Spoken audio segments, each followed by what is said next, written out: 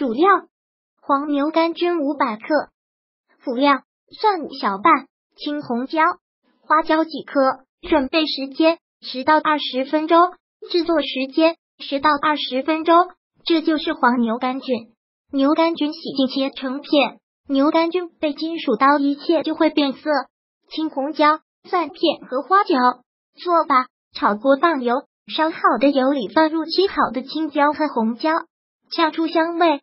切成片或块的牛肝菌倒入翻炒，中火，一边炒一边放放蒜片、花椒和适量盐巴。花椒的作用是提味儿，放一些花椒，菌子更加有山珍味儿，和平时炒的菜味道特特别不一样。成品图：烹饪技巧一：炒菌子的时候，菌子没熟可别常握，会中毒的。中火炒个二十多分钟，也差不多熟了。菌子一定要炒熟才能吃。